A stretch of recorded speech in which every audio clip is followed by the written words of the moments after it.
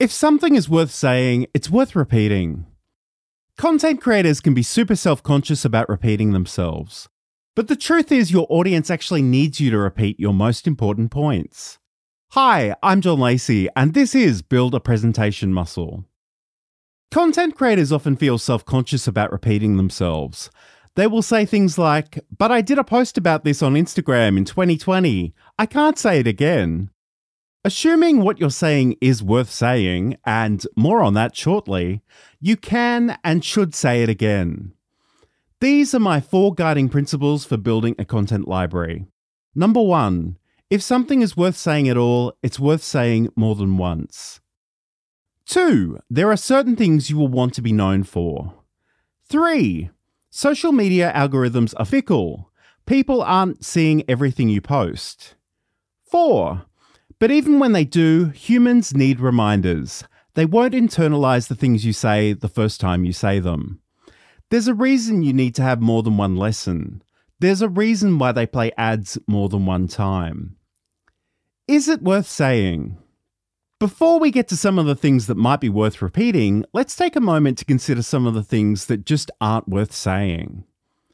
The common example I see in the wild is when people post about having nothing to post about. Sure, this post may have fulfilled some sort of posting quota, but it's not really helping anybody. Probably not even you. Trends and newsworthy things may make less sense the more time passes between them happening and you talking about them, unless they illustrate a more fundamental idea or are really ingrained within the culture. Avoid posting dumb, glib things. Puppies are cute is certainly a sentiment that many people would agree with, but there's not a lot of substance there. By all means, talk about your puppy. Post pictures of your puppy.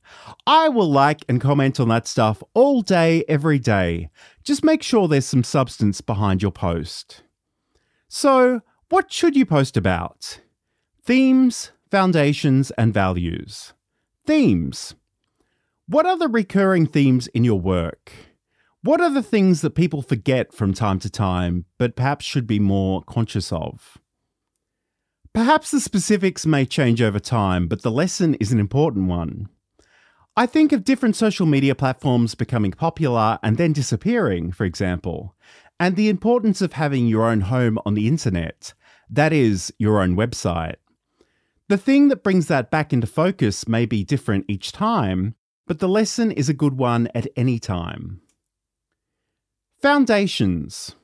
What are the building blocks of your work? What are the basics?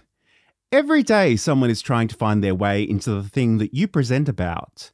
So, what do they need to know? How can they start simply? What encouraging things could you tell them? How could you help them set some reasonable expectations of what they can achieve and over what time period? Often beginners will want to run before they can walk, so it can be really useful to emphasize the basics. In terms of live streaming, for example, I try to bring attention to being on camera and on microphone, and knowing what you intend to talk about, rather than fancy animated borders and effects and transitions. Values.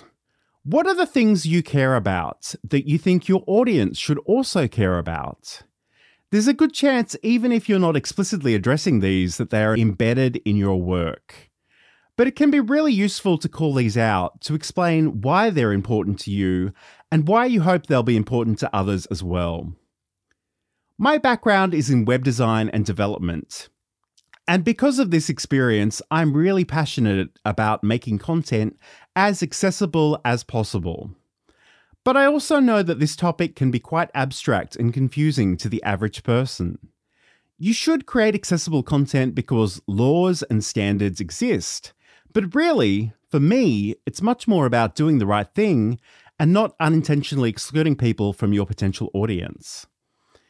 If they want to know something and I have the information they need, I don't want the way I have presented the information to be a block for them. I would encourage you take a similar approach. Your homework for this week make a list of the themes, foundations, and values that relate to your own work. This, of course, will vary wildly from person to person, but it's important that you know what they are and that you remind your growing audience of them. For more information about today's show, head over to johnlacey.com.